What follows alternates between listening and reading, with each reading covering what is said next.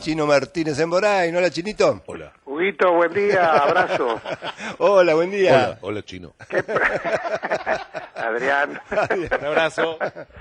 este, qué placer volver a estar juntos en el aire. Bueno, el- eh, el- lo mismo. Recordémosle a la gente por si hay algún despistado por ahí. ¿Qué? Es el sex symbol, el, el que, ¿te acordás? El Eh, chino. Claro, él ¿Te es sex símbolo y yo soy el kilómetro sexual. Sex symbol del futuro. El sex symbol del futuro. No, no, es el sex symbol. ¿Te acordás Sí, cuando sí, lo sí. vendimos así? En lo- el Cabildo. Lo sacamos a la calle y provoca sensación. Sí, sí, no, las mujeres se, se desgarraban la ropa, una, una Tiene un cosa target, fuerte. tiene un target. Hola, Sí. Nora. Todos, so- todos somos así, ¿eh? yo soy el objeto sexual. Cuando salgo dicen ahí va el forro. Bueno, dale, sí, sí. Chino, ¿dónde estás, querido? Decir la verdad. Estoy en la provincia de Buenos Aires, en la costa, en un pueblo maravilloso que está al sur de Miramar. Ajá. Ujú. Y estoy ya pegando la vuelta hoy por la noche, ¿Ah, sí? porque, bueno, es hora de trabajar más activamente todavía, ¿no? Bien, vago, bien, bien. bueno, Chino, No, eso, es- eso se llama envidia. esto se llama envidia, tal cual. Absoluta, pura, clara, prístina envidia. Sí, Envidia y- y a algunos, secas. algunos para disimular dicen sana. No, ¿cómo puede No, ser la sana la está envidia? recontra enferma, mira. No hay envidia sana. La envidia en sí misma es una enfermedad, claro.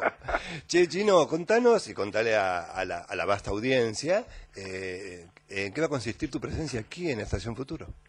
Bueno, vamos a continuar con esa sección, esa columna que se llamó y se llama Ideas y Escombros, y allí vamos a tratar de hurgar en lo que significan las nuevas formas de hacer eh, política, Ajá. las nuevas actitudes de la sociedad frente a, a los desafíos, por un lado, a los a los a, lo- a los obstáculos porque eh, en los últimos días sobre todo uno advierte que vivir en la Argentina de hoy es como una especie de carrera de obstáculos que uno va sorteando y va consolidando situaciones y esto es lo que me parece va a ser la miga de nuestra columna a lo largo de este próximo año del 2014. Vamos a hablar de las cooperativas que han sido y son exitosas.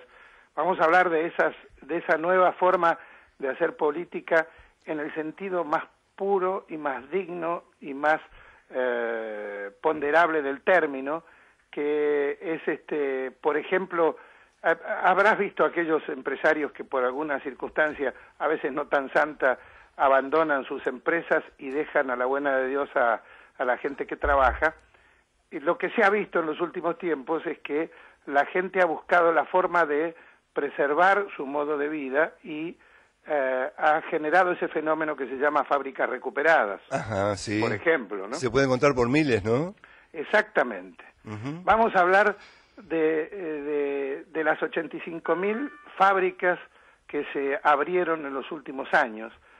Si esto nosotros lo pensamos en términos de, de, lo, de lo que somos y de dónde venimos, del 2001, yo no pierdo nunca la perspectiva y la memoria respecto del 2001, hablar de la apertura de 85.000 fábricas es maravilloso y vamos a refrescarle un poco la memoria a nuestros amigos. Vamos a hablar de la, de la agricultura, vamos a hablar del microcrédito, pero también vamos a hablar de lo que pasa en la región latinoamericana. Recién lo escuchaba a Adrián haciendo referencia por, por, por su viaje a Chile. Y, y esta región, a pesar de todo, va consolidándose. Pero la gente es la que consolida eso, porque veíamos el otro día esta convocatoria al apagón de consumo. La gente ya no se deja sorprender ni, ni tan fácilmente como antes, ¿no?